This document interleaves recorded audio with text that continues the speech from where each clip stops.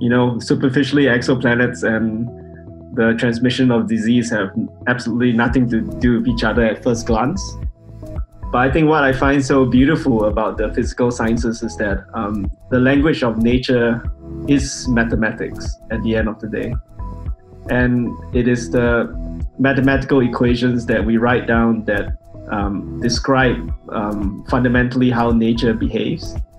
Das Schöne ist, es hat, gibt natürlich äh, quasi einen gewissen Reiz für das Gebiet von, von der Astrophysik, ich glaube, wo alle interessiert. Aber das Schöne ist eben, dass wir äh, eigentlich näher sind, als man denkt. Also ich selber komme auch aus dem naturwissenschaftlichen Bereich, also ich habe Biologie studiert.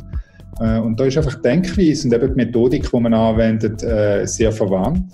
And just by complete, I don't know whether to call it a coincidence, um, the equations that describe disease transmission are very similar to the ones that describe how uh, chemistry happens in the atmospheres of exoplanets.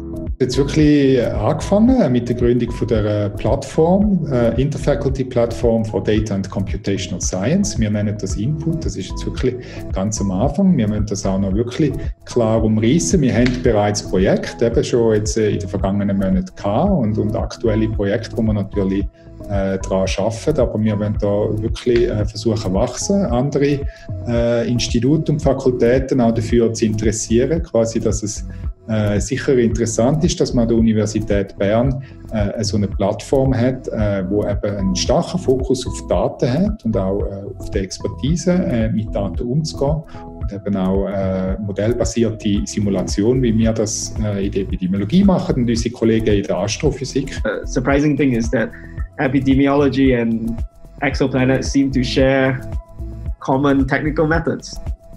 So maybe other fields do does have the same relationship with with these two fields too. And I find this very exciting because then you can get uh, in the room researchers who normally do not talk to each other, who have no relationship with each other, and now they realize that they have a relationship through the underlying language of science, which is mathematics and um, statistics.